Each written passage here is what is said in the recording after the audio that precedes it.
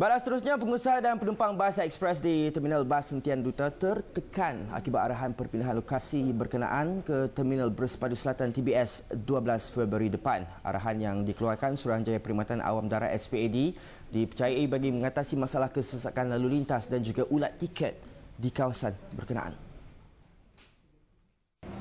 Tinjauan Esrawani mendapati terdapat beberapa kain rentang yang memohon orang ramai supaya menyatakan pendapat mengenai arahan perpindahan itu. Pengarah syarikat Cosmic Express Abu Hassan Awang berkata keputusan itu perlu dikaji semula terutamanya daripada sudut pengguna. Jadi dengan uh, pemindahan tersebut uh, di segi uh, kos akan meningkat apatah lagi yang uh, ketidak kesempatan uh, kesempatan masa untuk naik teksi dan sebagainya dan apabila kos itu meningkat akan membeban lagi pengguna. Dan uh, pengusaha ini adalah tertakluk kepada pengguna. Maka apabila kita respon daripada pengguna untuk menggunakan perkhidmatan kita secara tidak langsung itulah hakikatnya kita memberikan perkhidmatan kepada rakyat.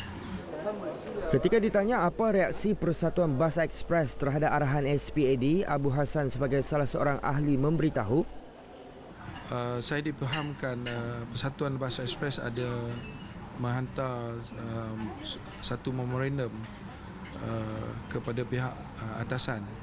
Uh, hasilnya uh, saya tak dimaklum dan saya harap uh, uh, memorandum ni akan uh, dijawab uh, ataupun diperjelaskan secara terperinci.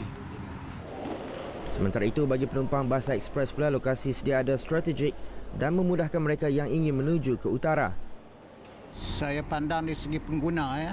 Ha, plus pengguna saya rasa susah sikit lah. Menambah susahkan lagi kami nak masuk ke pusat bandar. Kalau jauh daripada sini.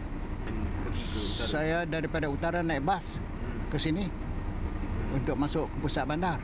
Jadi dia akan menyusahkan lah. Menyusahkan Pemandu bas Muhammad Yusof Hashim turut berkongsi resah berhubung isu berkenaan Selalu kami ni daripada daripada sini ke Alustar lebih kurang 6 jam, 6 jam setengah ikut kelajuan yang ditetapkan. Tapi apabila kita dah pergi pindah TBS, masa ni akan anjak lagi tau. Lebih kurang boleh jarak ke 7 jam setengah. Pemandu teksi tidak terkecuali mengeluh seandainya penutupan hentian duta menjadi kenyataan. Saya kurang bersetuju lah. Sebab apa kalau orang yang balik sebelah Gombak sana kan kena jauh oh, kena pusing balik. Hmm. Ha, kalau pergi hmm. Salak Selatan hmm. dia orang pun tak suka. suka. Tak suka. Itu terpulanglah pada dia orang kan. Itu hak dia kan. Hmm. Ha, kita cuma showkan memang tak suka lah. Hmm. Tak bersetuju lah.